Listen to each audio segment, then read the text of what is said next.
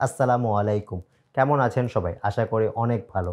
আজকের ভিডিওতে আমি আপনাদেরকে জানাব একটি টিপস যার কারণে আপনাদের আর কখনোই ফজরের নামাজ মিস হবে না। কেমন লাগল?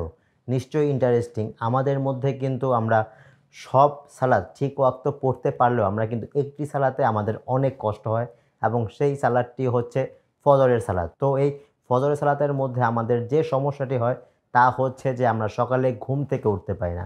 আমরা সবাই ঘুমাই রাতে এত লেট করে যে আমাদের যে সকালে যে ঘুম ভাঙবে তা প্রায় অসম্ভব হয়ে যায়। তো এই ক্ষেত্রে আমি আজকে আপনাদেরকে যে টিপসটি দিব, আমি আশা করি যে এই টিপসটি যদি আপনারা ব্যবহার করে থাকেন তাহলে অবশ্যই আপনাদের ফজরের সালাদ আর মিস হবে না। তো সেই ক্ষেত্রে আপনাদের যা লাগবে তা হচ্ছে যে আপনাদের আরেকজন সঙ্গী লাগবে, কারণ এই স্টান্টটি আপনারা কেউ একা পারফর্ম করতে পারবেন না। তো এই স্টান্টটি পারফর্ম করার জন্য আপনাদেরকে একজন হেল্পিং হ্যান্ড লাগবে। তো সেই ক্ষেত্রে আমি বলব যে এই টিপসটি হচ্ছে যে আপনারা যখন ঘুমাবেন আপনারা ঘুমানোর আগে বা আপনাদের যে কোনো পরিচিত একজনকে আপনারা বলে দিবেন যে সে যেন আপনাকে ফজরের সালাতের সময় উঠিয়ে দেয় বা ফজরের আজানের সময় উঠিয়ে দেয়। এই কাজটিকে আপনারা করতে পারবেন না? এখন যদি আপনারা বলেন যে আমার আশেপাশে তো কেউ নেই যারা নাকি ফজরের সালাতে ঘুম থেকে উঠে, তাহলে আমি বলব যে আপনার মতো হতভাগা আর কেউ নেই। যে আপনার আশেপাশে কেউ নেই যে একটা মানুষ যে আপনার ফজর সালাতে আপনার ঘুম থেকে উঠিয়ে দিবে, এটা তো অসম্ভব।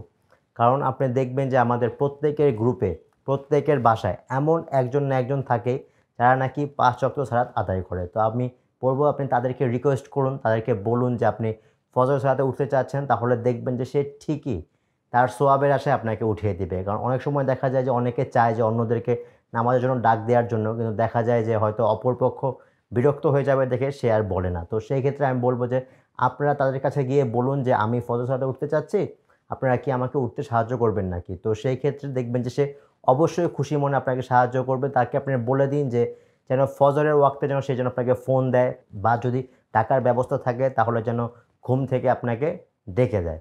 এবং এই ক্ষেত্রে আরেকটা কাজ করতে পারেন তা হচ্ছে, যদি আপনাদের বাসায় আপনাদের মা থাকে, বাবা থাকে, ভাই থাকে, বোন থাকে তাদেরকে আপনারা বলতে পারেন যে তোমরা যখন ঘুম থেকে উঠবে, তখন আমাকেও ঘুম থেকে উঠিয়ে দিও।